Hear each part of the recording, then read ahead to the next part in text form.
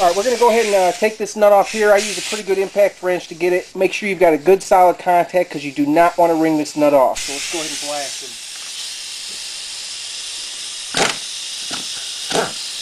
All right, there we go. All right, and then we're going to go ahead and work him off by hand once we got him broke loose. You've got one nut and you've got a washer. We've already taken the uh, rubber O-ring off and set that to the side. We'll set these over here. Alright, we're going to pull this bell off. That holds the bell on, which is what you see here. Okay, set him to the side. Then we're going to bring the whole clutch assembly off and the belt all at one time, like that. We're going to set the belt down. Alright, here's our clutch assembly. Got a couple marks on there. The reason we put these marks, again, is so that we uh, get the nut tightened up to where it's supposed to be correctly. This is your actual clutch assembly. We're going to go ahead and blast this off, and I'm going to show you how to do that in just a minute, and uh, take it from there. Alright, I use a uh, one and a half inch socket to fit that big old nut right there. We're going to go ahead and put that on our impact. We're going to go ahead and blast. Now, blast very lightly on this. These are very fine threads on that nut. We don't want to break them. In addition, this is very spring loaded. So what I do is I put my feet on each side of it, blast it and then slowly let it off as you're going to see here in just a minute.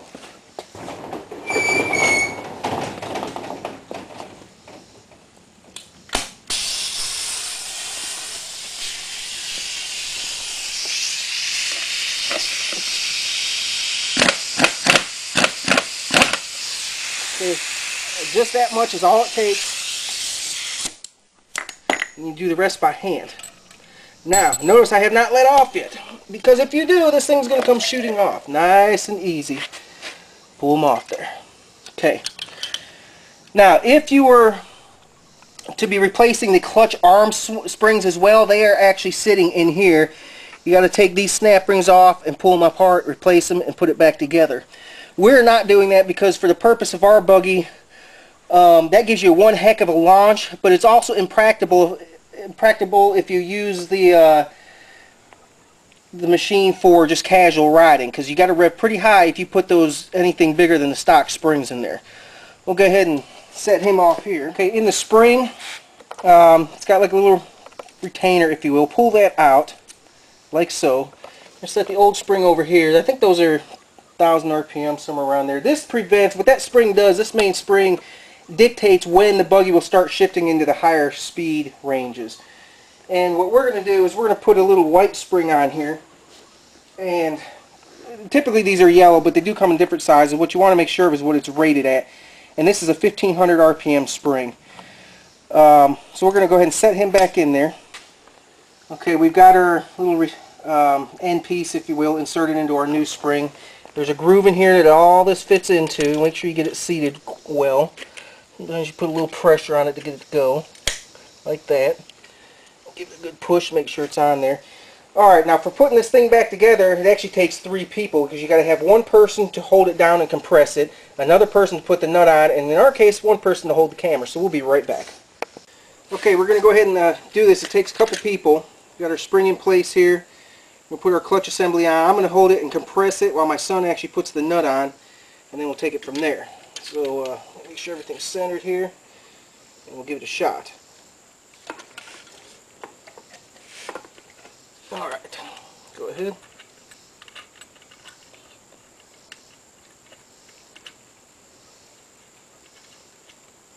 Keep going, as far as it'll go. Alright, and then we're lightly going to let off. Okay, now we're going to go ahead and switch hands here and we'll continue. Okay, what I do from this point, after I've got the nut hand tightened, I just kind of put my feet on it and I torque it as much with a ratchet as I possibly can to get it about where it's got to go. And you can see from the marks, um, we're not really that far off. I'll get it as far as I can with the ratchet.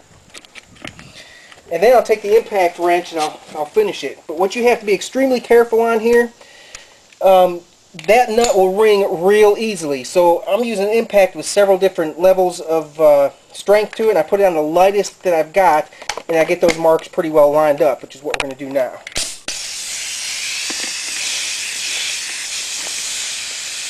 And nice and easy. Okay, still got a little bit more to go. And that's awfully good right there. We're going to give it one little boost for measure. Alright, and we're going to go ahead and roll with that right there. Um, that's where it was before. This is a pretty good impact wrench that I've got. I'm going to take it uh, for granted that, uh, in fact, I've got good marks on there. You can see they're lined up exactly where they were before. Um, if you have the proper torque wrench and you've got a way to hold it, you can certainly torque it to manufacturer specs. This is the way we're going to do this one here. Um, now that we've got that in place, we're going to go ahead and put our belt back on here. And we're going to slide the assembly back onto the shaft. Okay. And it's got some teeth in there that it's got to bite onto. Make sure you got your belt where it's got to go. And that's where that's going to go. Alright, we'll finish that off by putting the belt on. Or, excuse me, the belt on. It goes in there like that. Okay. Same thing, it mounts on the teeth that are in there. Then we've got our large washer. And we've got our, our nut. Alright, and uh, we'll go ahead and tighten it up here in a second. Let me grab some tools. We'll be right back. Alright guys, and I use a strap wrench to hold this bell. This tool here is cheap and invaluable for working on buggies.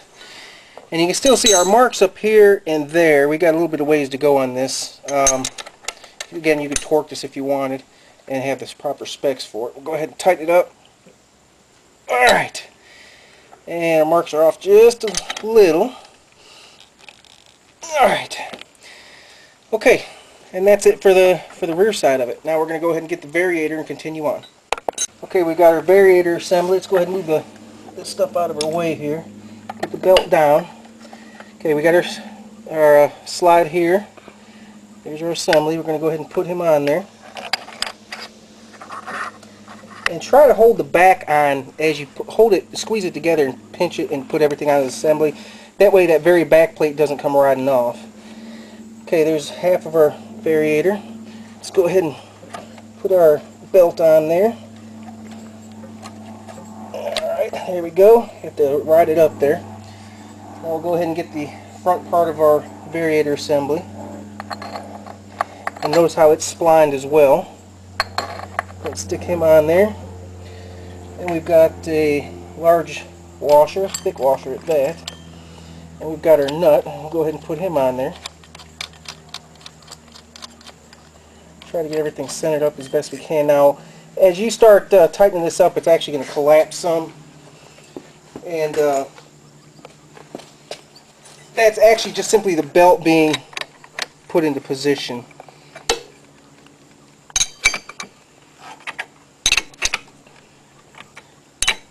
You'll feel like it's just threading on. You may be curious, you know, man, it seems like it's going a long way. It's just that the belt shifting in the proper position. Use a ratchet on this just as easily.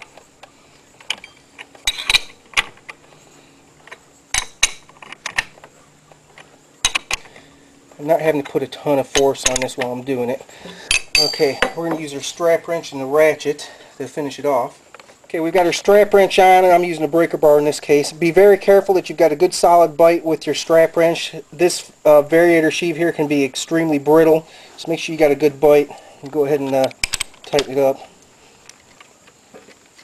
Alright, and we'll check our marks there. We actually need to go a little bit more to be ma matched up.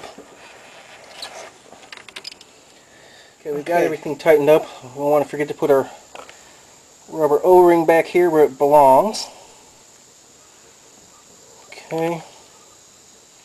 Um, something else I should know is we used uh, 12 gram sliders in here. They change the weights depending on what type of performance you're looking for. We do a lot of flat tracking on our racetrack. If you're doing a lot of hills and hilly terrain, you'll like to go with a lighter slider and possibly even a larger spring in the main side for the same purpose. So we're going to go ahead and put everything back together and we'll see you on one of the track attack videos. Thanks for watching.